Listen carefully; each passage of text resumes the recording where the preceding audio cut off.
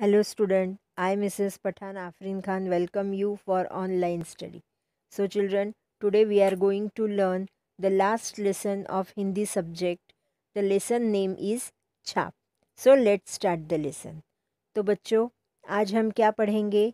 आज हम पढ़ेंगे पाठ नौवा, चौथी इकाई का। उसमें हम क्या देखेंगे बच्चों? उसमें हम देखेंगे, हमें कृति करना है, देखो, समझो और बनाओ। अभी बच्चों, हमें क्या करना है? कृति करना है। यानी हमें ये चीज़ बनाना है और पहले हमें देखना है, समझना है और फिर हमें इसे बनाना है। तो पाठ नौवा, छाप। अभी देखो, ये छाप क्या है? पहले क्या दिया हुआ है? सामग्री। अभी हमें क्या क्या चीज़ें लगेंगी ये छाप बनाने के लिए? देखो, कोरा कागज़, स्केच पेन और प्राकृतिक रंग।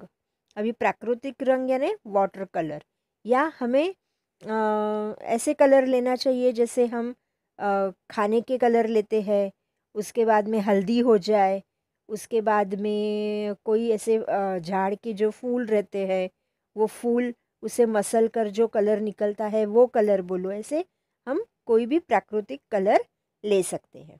अभी हम देखेंगे कृति। अभी कृति में क्या देखेंगे बच्चों? देखो एक कोरा कागज़ लो। अभी देखो, आपको एक कोरा कागज़ लेना है। अंगूठे को रंग लगाना है। अभी हमें क्या करना है बच्चों? अपना जो अंगूठा रहता है ना, उसे हमें रंग लगाना है। कोई भी रंग लगा सकते हैं हम लोग। रंग लगे अंगूठे से कोरे कागज़ पर अंतर रखकर छाप लगाओ। अभी रंग लगाए हुए अंगूठे को कोरे कागज़ पर रखना है और थोड़े थोड़े अंतर पर उसके छाप लगाना है।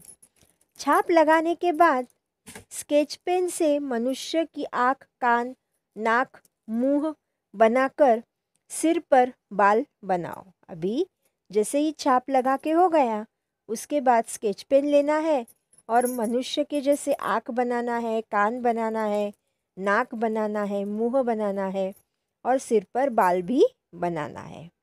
अभी चेहरे पे विविध भाव जैसे, अभी देखो, आपको छाप जो लेसन है, जो पाठ है, उसमें उन लोगों ने विविध भाव दिए हुए हैं। अभी जैसे कैसे दिए हुए हैं देखो, खुशी दी है, रूठना, रोना, बुढ़ापा और बचपन दिखाओ।